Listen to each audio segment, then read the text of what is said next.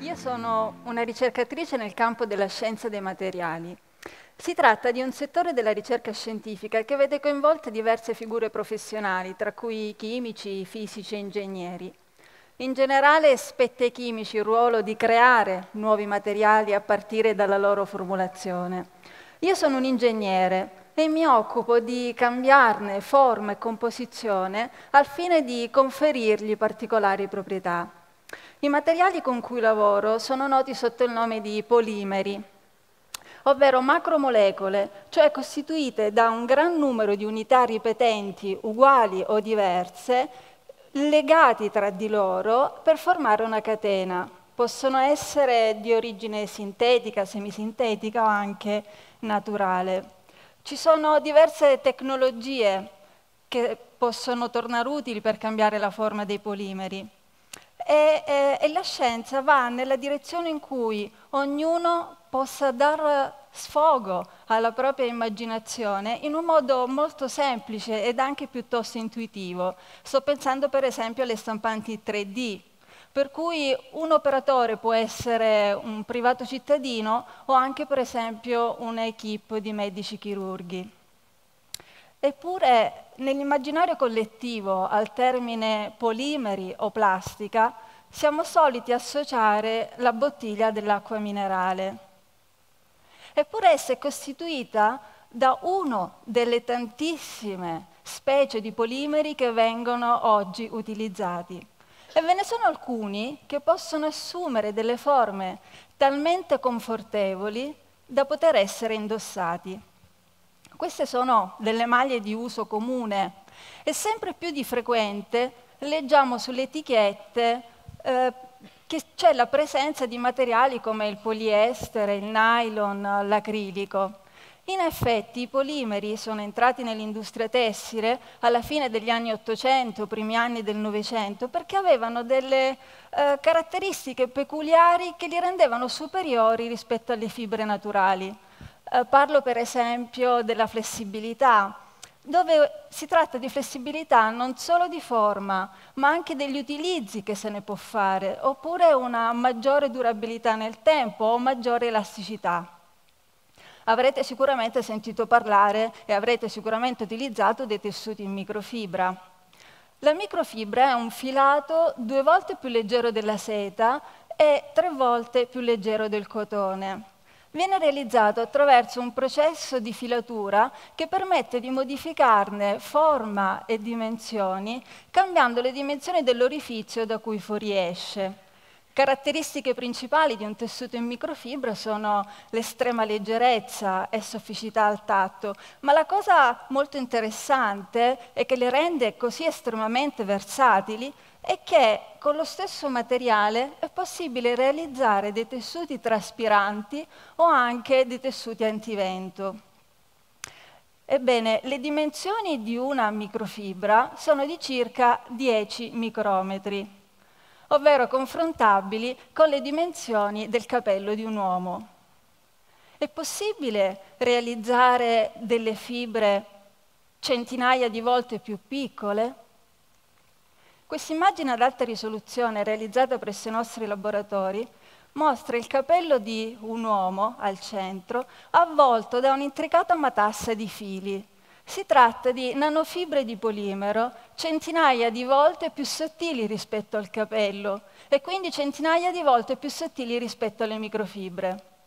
I nostri studi hanno dimostrato che cambiando forma, dimensioni di questa matassa di fibre, è possibile conferire al tessuto delle particolari proprietà e questi tessuti sono interessanti in svariati settori applicativi, per esempio nella filtrazione. La superficie specifica di questi tessuti aumenta così tanto che è possibile, per esempio, filtrare gli oggetti più piccoli, il particolato più piccolo. O ancora, è possibile utilizzare dei polimeri biocompatibili? Significa che possono interagire con i sistemi viventi senza alterarne le funzioni vitali? per realizzare degli scaffolds. È un termine inglese che significa impalcatura. Gli scaffolds sono molto utilizzati in ingegneria tissutale rigenerativa e sono dei supporti che vengono offerti al tessuto da rigenerare. Ancora, è possibile utilizzare dei polimeri biocompatibili e anche piezoelettrici per trasformare energia meccanica in energia elettrica. Ed è questo quello di cui parleremo oggi. Vediamo innanzitutto come funziona un materiale piezoelettrico.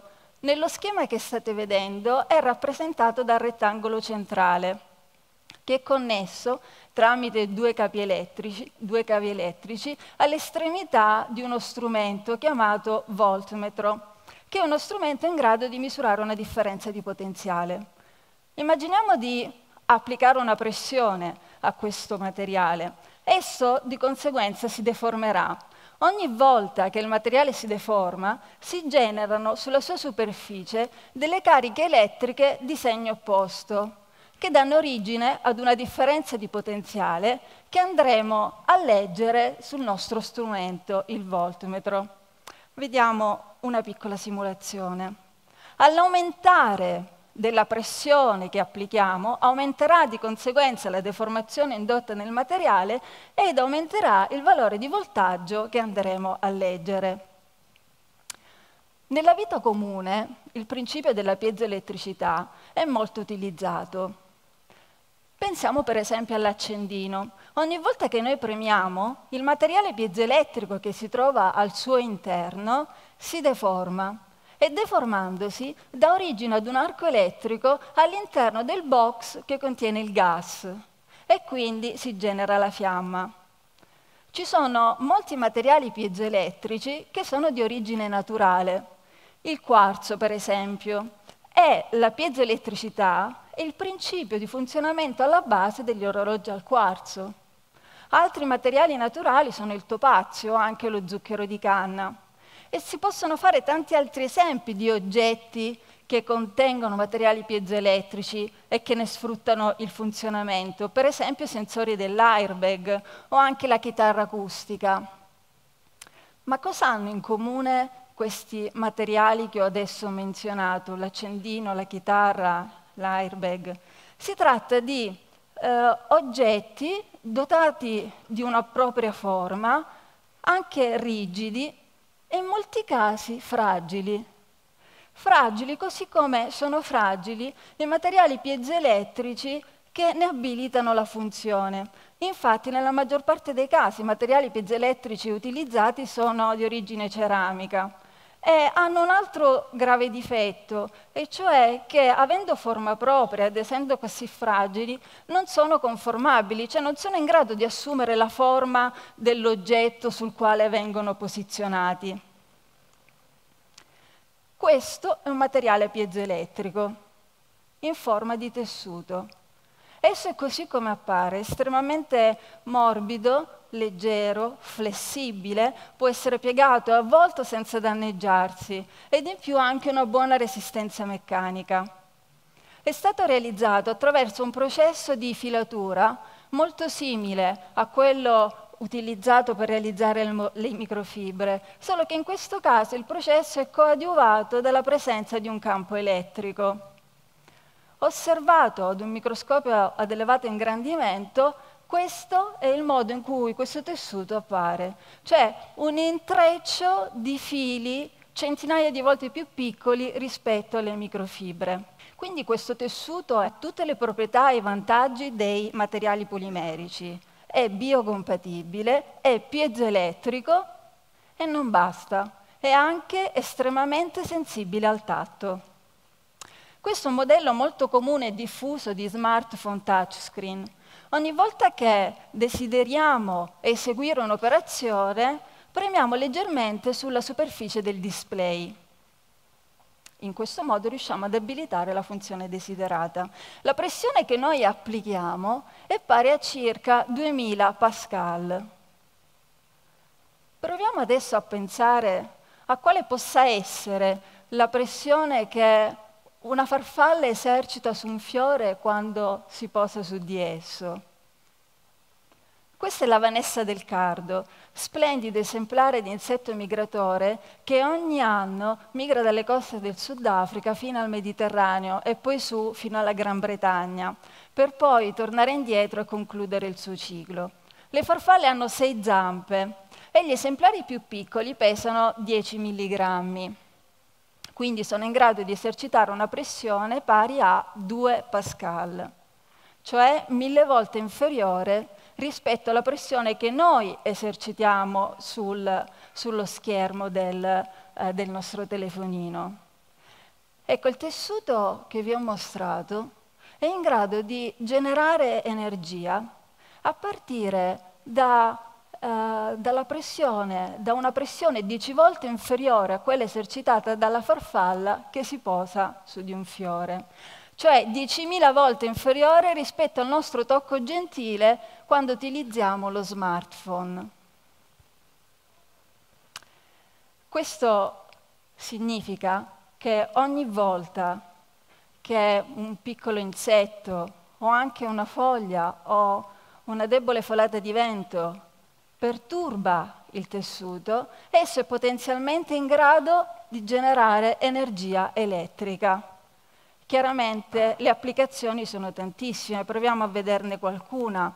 Sarà possibile generare energia a partire da qualsiasi forma di movimento, quindi una camminata, una passeggiata o anche le onde del mare, onde meccaniche o anche suoni, rumori, vibrazioni, perché è estremamente sensibile anche alle onde acustiche, oppure folate di vento.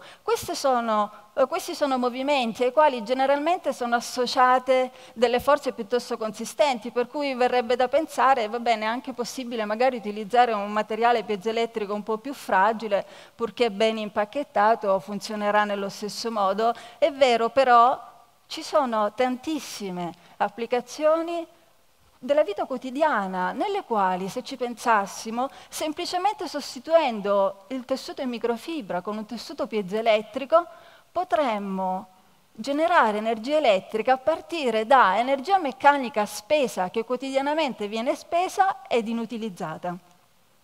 Potremmo foderare per esempio tende, tendaggi, ombrelloni, o anche giacche antivento per la pioggia, perché in ognuno di questi casi o il vento o la pioggia esercitano una forza sul tessuto e possiamo raccogliere l'energia che il tessuto genera. Qui sono rappresentate tantissime altre applicazioni a cui possiamo pensare.